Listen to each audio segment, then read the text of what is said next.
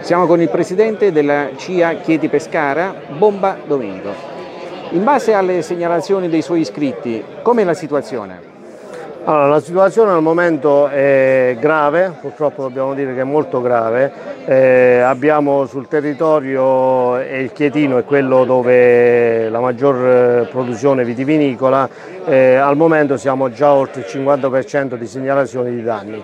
Quindi, per il Chietino intendiamo la fascia costiera interna? Intendiamo quali... la provincia di Chieti nella sua interezza che con le sue 32 cooperative, comunque tanti privati, eh, produce la maggior parte del vino in Abruzzo. Poi ci sono realtà importanti anche nel Pescarese, Teramano, l'Aquilano, ma diciamo che il grosso della produzione è in provincia di Chieti e qui purtroppo riscontriamo danni molto molto gravi eh, che eh, purtroppo porteranno gravi danni sia alle aziende agricole ma soprattutto alle, alle cooperative anche alle cantine sociali. Come associazione di categoria qual è la richiesta che lei ritiene più urgente in questo periodo? Allora, noi come associazione di categoria abbiamo fatto già la richiesta 21 giorni fa perché eh, dalle, da quello che stavamo vedendo, eh, essendo noi prima che eh, dirigenti sindacali, ma abbiamo le aziende agricole, avevamo visto che la situazione purtroppo era anomala, ma soprattutto con quelle piogge incessanti eh, si stava rischiando. In effetti avevamo richiesto subito lo stato di calamità naturale per le abbondanti piogge. Eh, quindi la richiesta è stata già avanzata, sappiamo che la Regione l'ha avanzata anche al Ministero, eh, quindi questa è stata la prima richiesta. Dopodiché eh, abbiamo eh, con una lettera alla Regione abbiamo richiesto un fondo rotativo per le aziende agricole per, in maniera di assorbire il danno non in una sola annata ma con eh, tre annualità con gli interessi a carico della FIRA, quindi la, la, la Regione Abruzzo.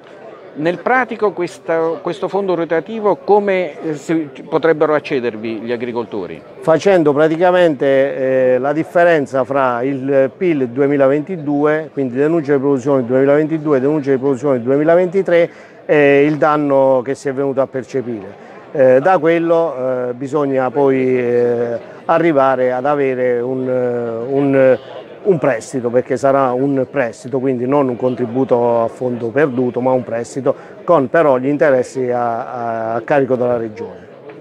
Va bene. Allora, quindi questa è la, è la, prima richiesta, adesso seguirete lo sviluppo del, della pratica? Sì, domani ci sarà un eh, tavolo verde convocato in Regione Abruzzo e questo sarà uno degli argomenti principali perché così deve essere. Eh, in questo tavolo verde vedremo anche se è possibile attivare eh, un bando che è quello della vendemmia verde dove si sono avuti danni che superano il 70-80%, vedere se anche quello può essere una strada percorribile. Quindi stiamo cercando tutti i modi per eh, cercare di eh, attenuare al massimo questo danno che purtroppo si è avuto e che è un danno reale. Eh, consideriamo poi che siamo solo al 10 di giugno, 10-11 giugno, potrebbe dobbiamo arrivare, sì, dobbiamo arrivare alla vendemmia, non è, non è, cosa semplice. Quindi i danni potrebbero essere anche superiori a, alle attuali stime?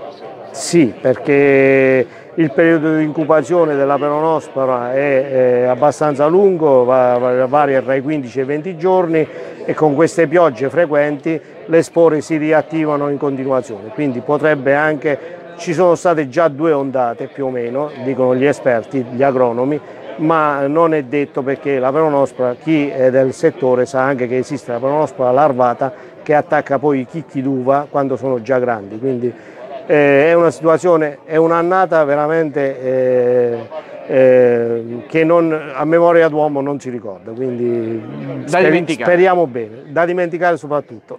Grazie.